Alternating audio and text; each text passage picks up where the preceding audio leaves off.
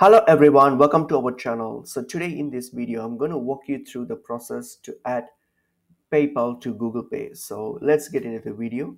So if you want to add your PayPal to Google Pay, you simply have to open up your Google Pay app. So on your phone, open up your app.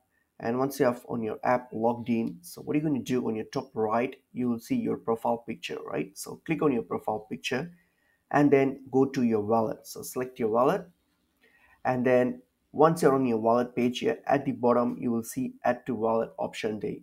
so click on add to wallet and then once you add click on add to wallet you will see tap the payment card option. So click on the payment card option and then select paypal from there. So select paypal from there and then now you just simply need to link your paypal by following the on-screen instructions. You just need to log into your paypal account and then complete the linking process so that's how you add your paypal to google pay.